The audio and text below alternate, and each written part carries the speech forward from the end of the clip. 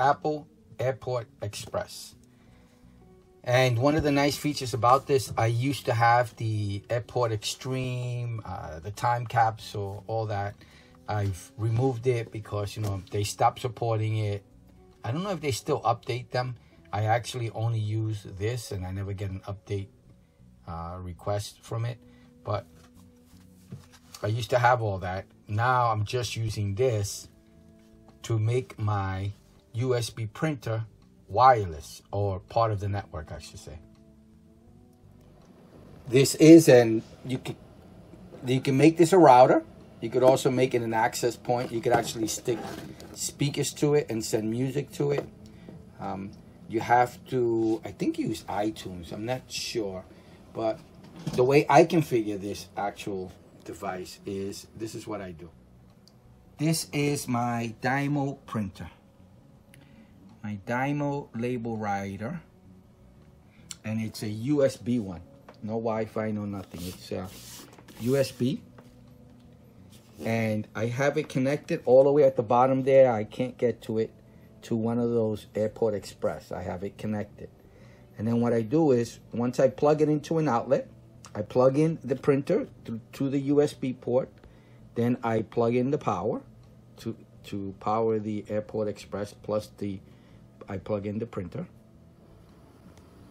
We're at the Airport Utilities app, and what you do is you first go to Airport, and then you your wireless mode will be to join a wireless network. Again, I'm not gonna mess this up. I already got it configured, and I'm not going to uh, do anything to cause me to have to troubleshoot anything. I'm sorry, but what I did was I joined a wireless network, which I did already.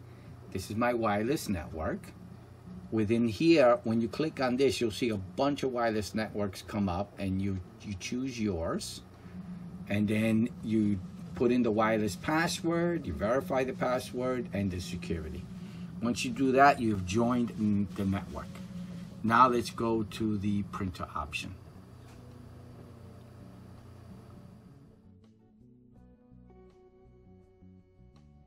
Here the printers and within printers you can actually add like, like I did the USB printer. You can say there's a printer in there. I'm not gonna reconfigure this. I'm just sharing my information with you. It's already done. Under printers it'll allow you to add a printer. And it works really really well. And I have been using it for years because I was not happy having a USB printer directly connected to a computer when I needed it on other computers. I didn't want to move it around. So this made it easier. Anyone on the network could use it.